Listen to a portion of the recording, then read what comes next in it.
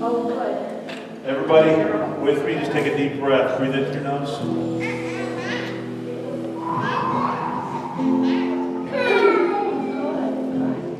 Try it again. Breathe in.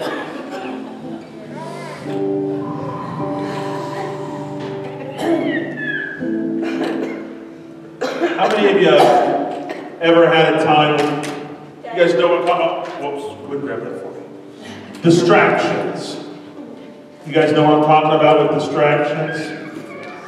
And today has been a day of distractions. Amen. Like you too. And this is like, amen. Where you're trying to get stuff done, you get up, you got so much to get done, and you get distracted. You start running, and, and, and it seems like everything that needs to get done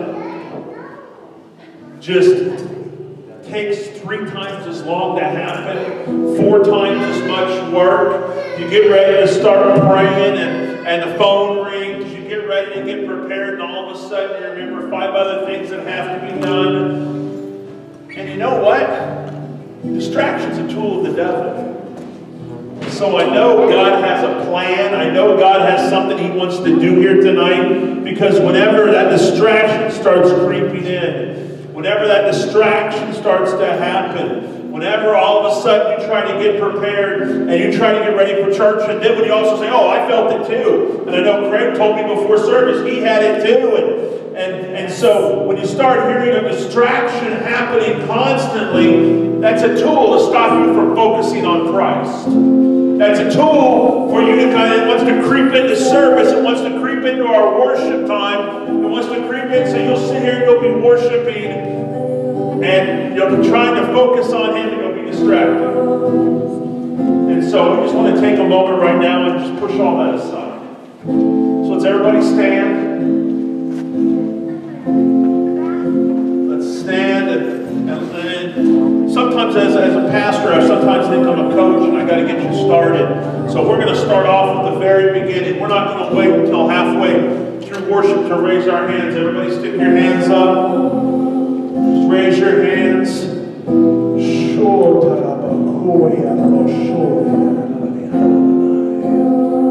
Lord, right now we come to worship you. Lord, we lift our hands and surrender to you. We come to worship you. We come to lift your name up. That right now, Jesus, we desire you to be the focus of our service. We desire to come and focus on you. We desire to come and hear your voice. We desire to come and have you be the central thing in our, in our service, Lord. We sing our praises and worship to you with nothing else in mind, with thinking of nothing else, with distracted by nothing else. We worship, we exalt, we lift you up. Lord, we come into this service with a sole focus to come to enter into your presence and have you speak to us.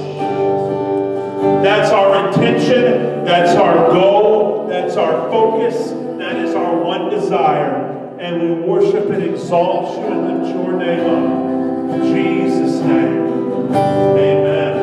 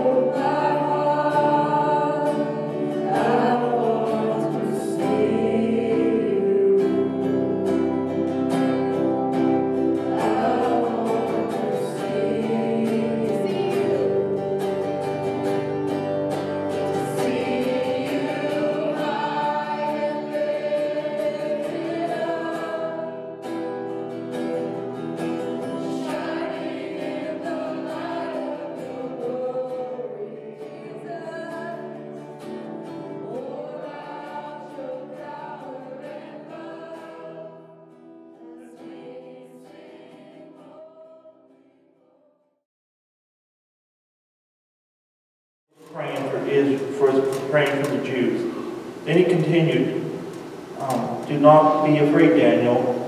Since the first day you set your mind on your on to gain understanding and to handle yourself before your God, your words were heard. I have come in response to them, but the prince of the Per- Persian kingdom resisted me 21 days. Then Michael, one of the chief princes, came to help me because I was detained with the king of Persia. So this was Daniel praying for understanding. This angel came and said it took me 21 days to fight for the prince of Persia. I want to give some thoughts. Daniel was a government official, worked in the king's court, obviously a very busy man. But he did not allow the busyness of his life to interfere with his prayers. He probably had his responsibilities he did. He- You know, he did them. And whatever time he had set aside, he went and prayed until he got his answer. It took 21 days. This prince of Persia, that's a demon. There's demons assigned to certain territories. I don't want to focus on the devil, but that's the fact. Some are weak, some are strong. If he's called the prince of Persia, that means he was one of the big ones. Daniel only Daniel defeated him with prayer. We cannot defeat the devil if we don't pray. Amen.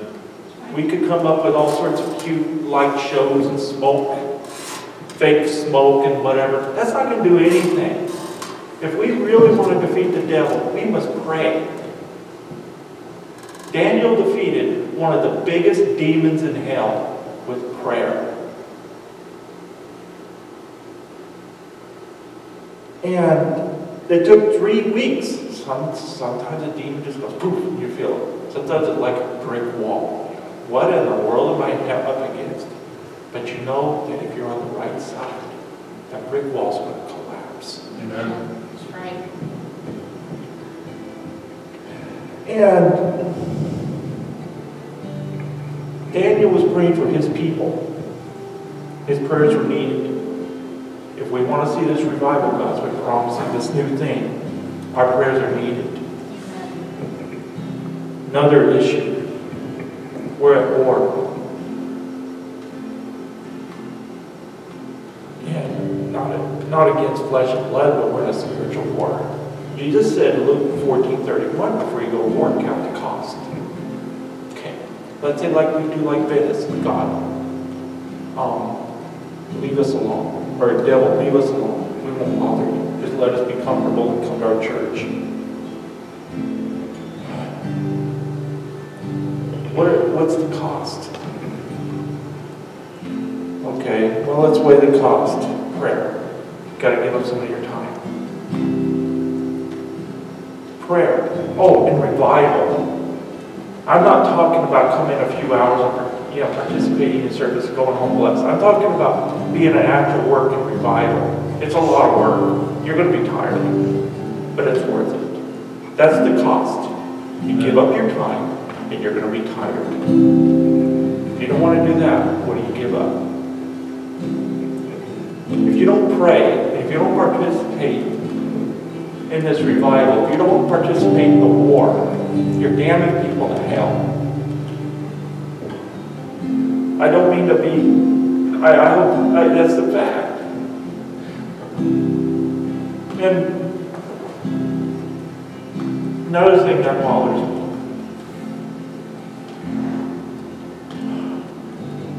I work with kids a lot.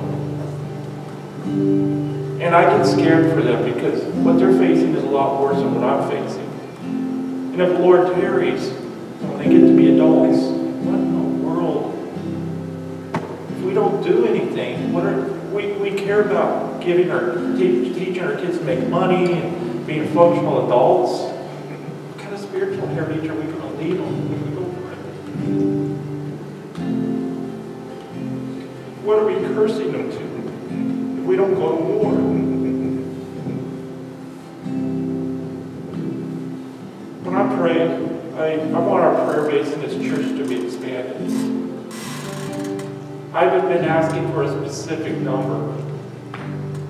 percentage.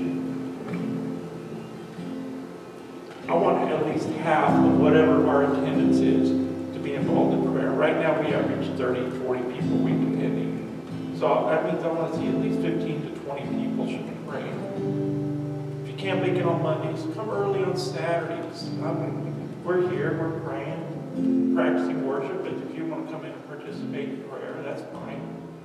Mondays, seven to eight officially. Uh, a lot of times, me or Josh will get there at six. Thursdays, I have youth prayer from six to six thirty. You can, if you want to come in and pray with the adult, you know, adults,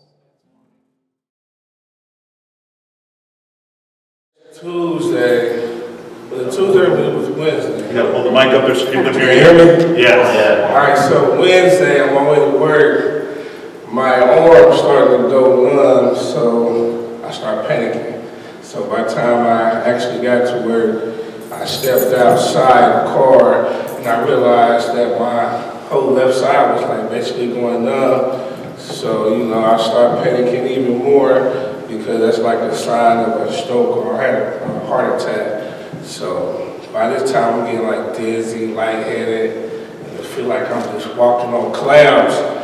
So I wanted to stay at work, but Brandy and a couple of my coworkers decided that I should go to like an outpatient immediate care. So I went and uh, they took my vitals and said that my heart rate was rapidly and I was kind of having a heart attack. So Kind of having a heart attack? I mean, she put it that way and said I was. Okay. I just wanted, to. she said you were having a heart attack. Okay. Yes, so she said I was having a heart attack, so they uh, called an ambulance, took me over EKGs, and uh, gave me some uh, heart rate medicine, gave me like three shots of nitrin to lower my blood pressure and also my heart rate. So by this time, I'm like, uh, just thinking about a whole bunch of stuff. I had a best friend that was just in the hospital, you know, and I'm borderline diabetic, and I was just thinking a whole bunch of, you know, stuff that's been going on recently. So they rushed me to Riverview, and uh, they gave me an X-ray and drew some blood, and then probably about a half an hour later, they said I was clear and wasn't no signs of a heart attack or stroke. They just told me to uh, try to live stress-free. And they said, y'all.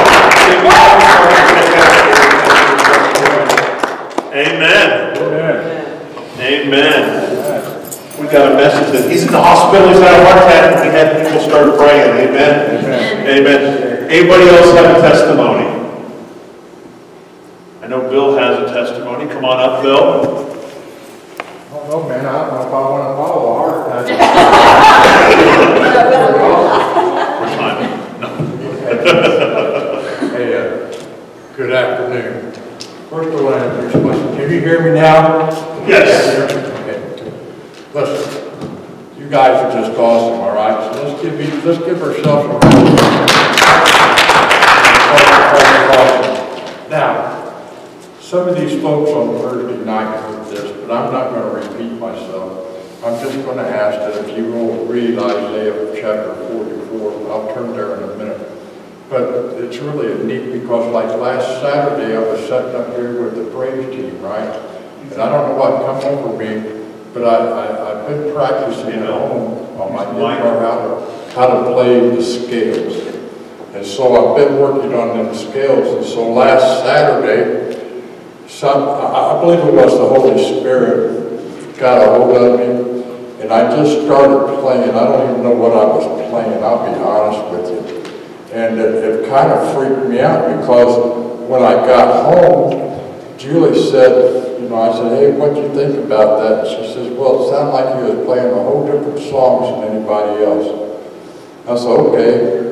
So I didn't know what to do about that, so I thought, well, I have to come to church next Saturday and I either have to tell them to forgive me, ask for forgiveness for taking off like that, or just tell me it was a blessing in the Holy Spirit. I, I have only felt that one other time.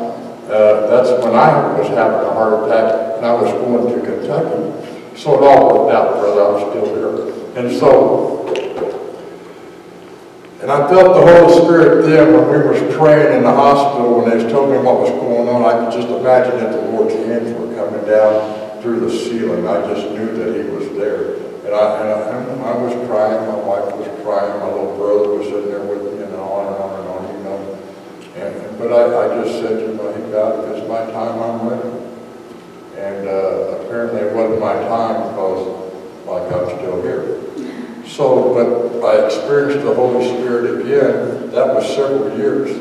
And then I experienced it here Saturday, and I just thought it was awesome. And uh, I, I, I don't know how to explain it to you, other than that I, didn't see anything strange. It was just a, a calmness that come over me. And, and uh, I know that I, when I got home, I kind of like laughed for about eight hours. I mean, I just started giggling, you know, and I sat there like, hey.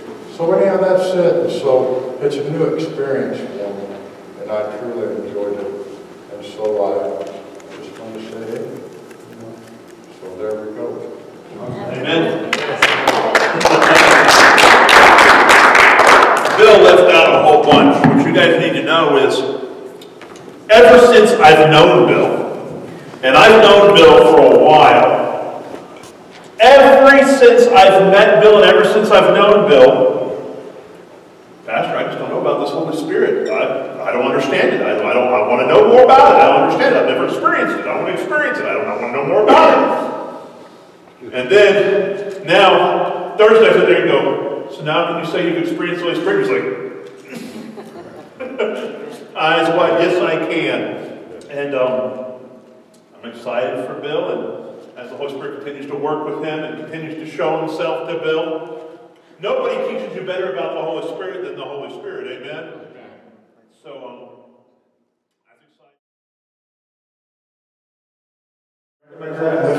Have you guys seen this before? Where did it come from? It's the Outreach Center. Does anybody know why we have this particular, it's pretty funky looking cross. Why this cross? Look around, there's maybe one person that might know. We had a message talking about what this cross means. And I wanted to go over again, what does this cross symbolize to Issachar Church? When you come and say, Issachar Church is my church home, what does this cross symbolize to you? Or what should it symbolize, or what I hope it symbolizes to you after cross. They go and they take this cross and they throw it on his back. Anybody want to take a guess on how much the cross weighed? As they throw it on top of his beaten, torn, ripped apart back. Does anybody want to know how much the cross weighed? We got a guess? How much? 400? No, not 400. Jesus wasn't Samson or, or, or, or, or, you know, after being beaten, after being beaten to the point of exhaustion and, and, and near death, they throw an 80 pound cross on his back to carry. Each beam weighed 40 pounds. Estimated. And they throw this cross on his back. Jesus carrying a cross. He's carrying that cross down the Via Dolorosa. He's carrying that cross for you. He's carrying that cross for me. Reached that place where he collapsed under the weight of his cross. Jesus knows when you've gone as far as you can go. Jesus knows you've reached your breaking point. Just when you feel like, I can't live it anymore. It can't be who I can't, be who Jesus wants me to be. Right when you reach that point, you say, Jesus, I'm really tired. Is there ever a break for me? That's the point that'll bring extra grace. That's the point that it brings extra strength. Romans 5.20 tells us, where sin multiplied, grace multiplied even more. So I want to challenge you, youth. You'd say it's hard to live for God in school. Lord, I can't go and be a witness in my college, in my high school, in my school. I can't go be a witness. I don't have what it takes. Say, yes, you do. You need to understand something. Living for Christ, the cross. I've always said the cross is a plus sign, not a subtraction sign.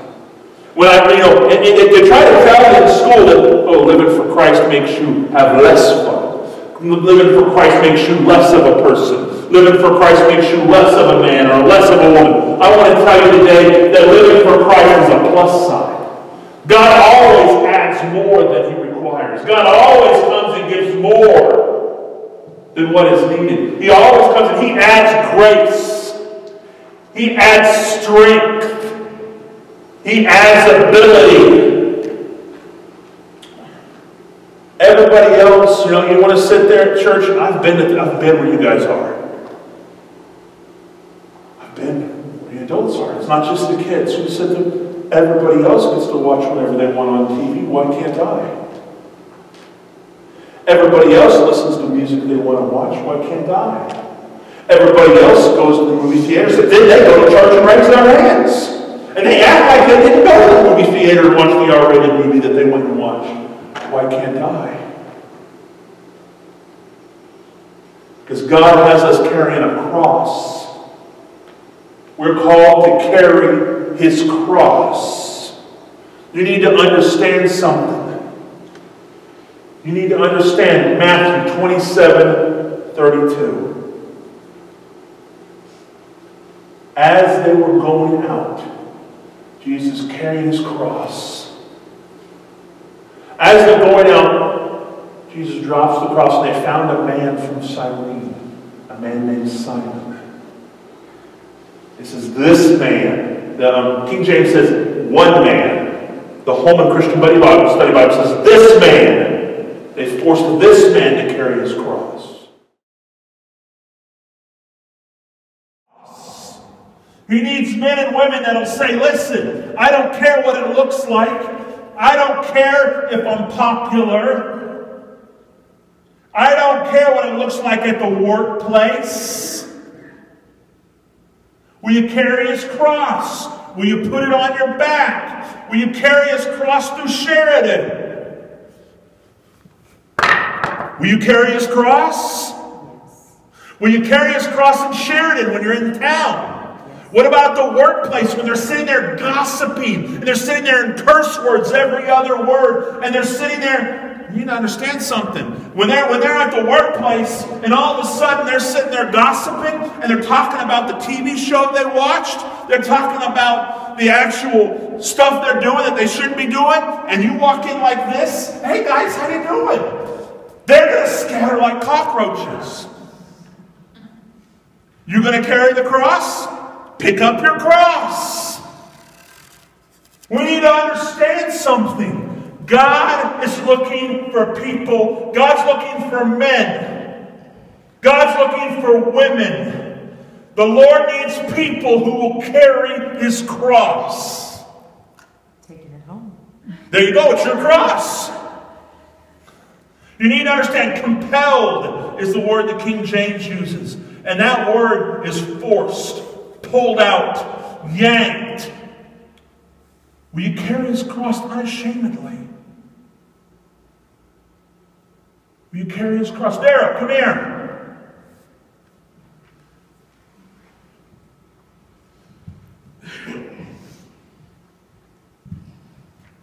Will you carry his cross? Wait, wait, wait, wait, wait, wait. You to understand, you can't just be quick. Just because he's carrying the cross and she's carrying the cross, you have to know what this entails. Will you be a godly father and show your kids what it's like to be a man of God that carries the cross?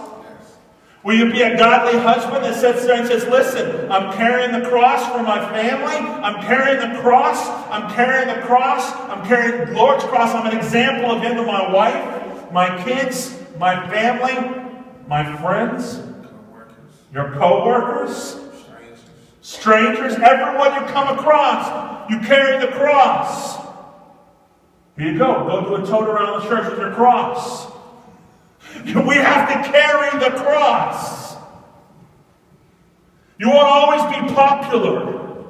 You have to choose. You have to choose being accepted, being liked, or carrying the cross. That's what your choice is. you have to be willing to carry the cross through everything, through all things. You won't always be popular. You won't always be liked. It may make people smudge fish oil all over your stuff at work. But carrying your cross comes at a cost. Amen. Take your cross and you can go sit down. That's yours, Daryl. Thank you. You got to carry the cross. You got to get to a point, and that's what the cross means. That Lord, I'm at the point. I'm not playing games. I'm not playing God games. I'm not going to. Be, I, I want to be different to make a difference. Do you not understand? The cross to me is not a sad thing. You know, some people are crossing this to remember the death of Christ. Not for me. Not for Issachar Church. The Issachar Church is the cross is what enables me to make, be different so I can make a difference.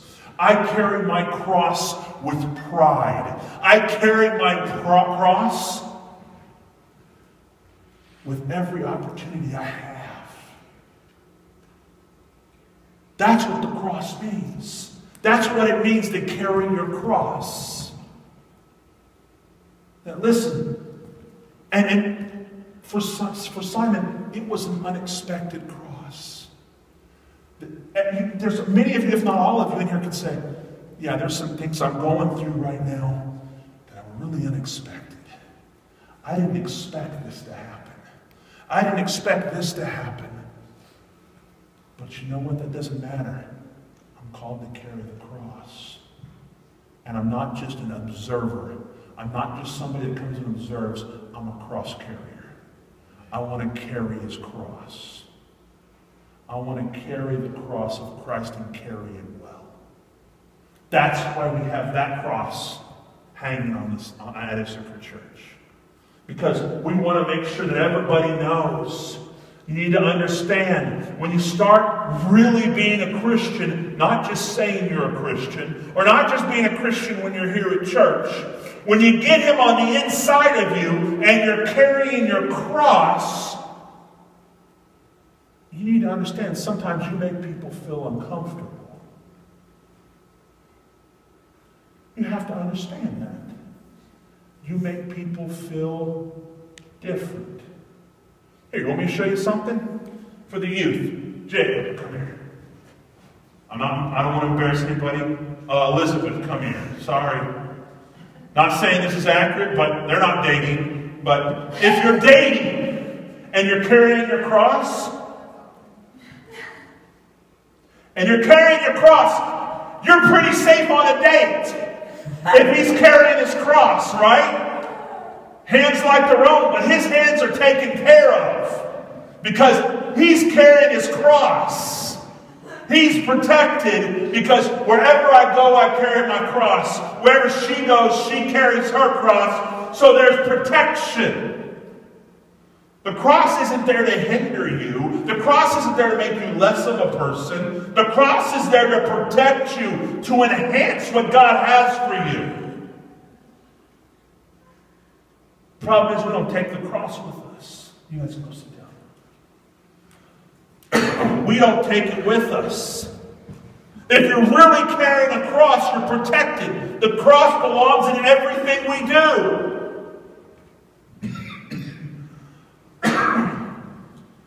Everything we do, we carry a cross. Right? Well, Chris, come here. You're the only mom and dad sitting together. So, we carry a cross in our family, right? Carry the cross. So, you guys able? You guys going to carry God's cross? How you raise Skyland? How you teach Skyland? How you train Skyland to be a man of God? You guys carrying the cross when you show the people that live around you what it means to be a godly husband and wife? When you go into ministry as a husband and wife, show them what it looks like to carry the cross. You're going to be the man of the house and you're going to sit there and you're going to carry the cross, the cross well in your family, right? You're going to be a Proverbs 31 woman of God and carry the cross well in your family, right? Amen. Carry your cross. That's what it means for us. That's why we have a cross on the wall at Issachar Church. I have one more cross. Who else is carrying the cross? One more. Darlene, Darlene, perfect. Come here. Darlene.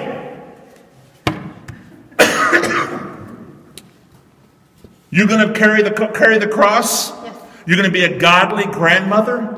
You're going to show not only your granddaughter, but your grandkids what it means to be a praying grandmother.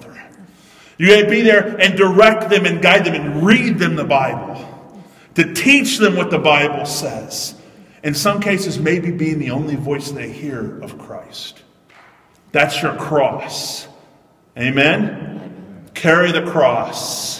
One thing, I have a grandson that doesn't believe in God. Amen. Let's pray for him now. Yeah. Lord, right now we thank you that as Darlene carries the cross, that our Darlene goes and she carries the cross and she shows what it's like to carry your cross. That Lord, it's going to shine not just in her, but Lord, it's going to shine out and her grandson is going to see it. Lord, her family's going to see it. That, Lord, she will have family members that will come to you. She will have a husband that chases after you. She'll have kids that chase after you and grandkids that chase after you because she was a woman that carried your cross. In Jesus' name, amen. There's your cross. It's important for us to carry a cross. And you need to understand that, well, Pastor, it's really easy. It's really easy to sit there and claim that we need to carry a cross because, well, you're a pastor. And you don't know what it's like to go into the workplace. You don't know what it's like to work where I work. Well, I also have a bag of dirt. And you, I'm sure you guys came in and was like, hey, there's a bag of dirt back there, there's a bag of dirt here. And you may be like, what's up with the bag of dirt? Why in the world? What's the, uh, Pastor, I get the cross. What's the bag of dirt about? How many of you know the story of Naaman? The story of Naaman, the, the, the, the, soldier that had um, leprosy. And he came and traveled a long way and then was told, hey, you, he came and wanted prayer. And they said, hey, you need to go dip and in this, filthy, dirty water hole. It's like, I got cleaner water back where I'm at. It's like, no, you need to go dip. one, And once you dip seven times, you'll be healed. So he goes out there after being convinced by his servant to go ahead and do it. He goes out there and he dips seven times and then he's healed. Well, you want to know what Naaman did after his healing? Naaman went to God and said, Listen, clearly you're the only God. Clearly you're the God that is above all gods, and you're the God that I want to serve. But Lord, you need to understand something. I'm going to leave this place. I'm right now in your country. Right now I'm where you're at. But I'm getting ready to leave, and I'm getting ready to go back to my homeland. And Lord, at my homeland, they sacrifice babies. True. At my homeland, they go take their own babies and they burn them alive. Lord, at my homeland, they go and they do crude and, and, and things that are not pleasing to you. Yes, Lord, I can serve you here, but Lord, how do I serve you when I get back to home?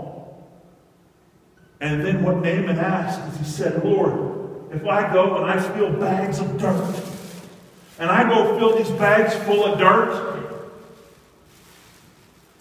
and then, Lord, when I get back home, if I throw this dirt around my house, around my property, and then I go and I build an altar on top of that dirt, would you have that be my holy place? Would you meet with me in a place that's evil, in a place that's that's doing things that don't please you? If I come carrying my cross, and I come and I have the dirt, and, then, and I, I come and I, I build an altar unto you. Will you meet with me there? And the Lord said, Yeah, that's what you do. You take your mule or your horse and you fill them up with bags of dirt. And you go back home and you build me an altar. And then when you every time you come to that altar, when you're carrying your cross, and you come to that altar, when you're there and you're praying with me, I'll meet with you. I'll be there with you. I'll be your God, and you'll be my person. You need to understand when you're carrying your cross, that's when I can't tell you how many times I'm always told, well, you're a pastor, you kind of got a one-way direction to God. I'm like, no, I don't. If you're living right and you're carrying his cross, you have the same line that I have to God. If you're living right and you're carrying the cross and you're carrying his cross, you have the same access to God that I have. That's what Naaman was saying. He didn't have Christ that died on the cross for him yet. But he said, Lord, if I live for you and I take this dirt and I throw it down and I build an altar on top of this dirt, will you meet with me there? And the Lord said, Yes. I want to challenge you tonight. We live in a culture that, I'll be honest, I am disgusted. Not by how the world lives. I kind of expect the world to live that way.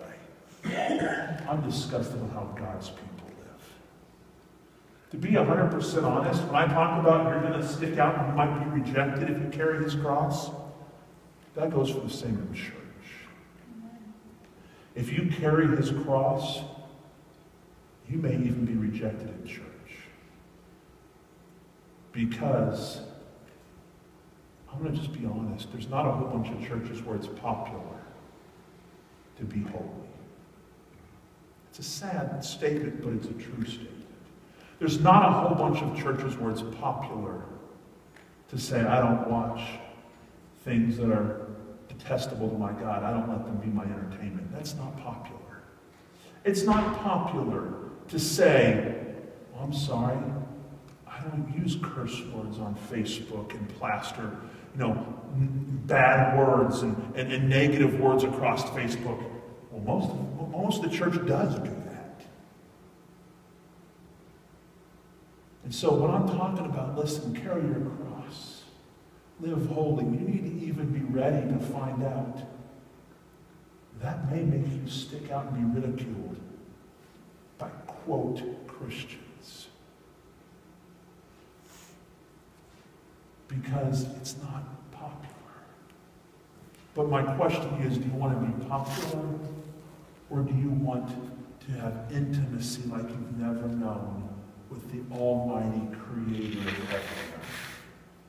Do you want to be liked or do you want to be different, be different to make a difference? I don't know about you, but I want to be different to make a difference. The way Sheridan comes to Christ, the way your family comes to Christ, the way your neighborhood comes to Christ is by you taking your cross and carrying it. Not every other day, not on Sundays, not when you just think they're looking, but all the time. Hi, and thank you for watching Issachar Church's Saturday night service on a Sunday morning. Hope you enjoyed Pastor Joshua Kennedy's sermon on carrying your cross. Many people actually even received crosses tonight, and they learned the importance of carrying your crosses in workplace, school, and everyday lives. They might be the only Christ some people even see. Thank you, and hope you enjoy your week.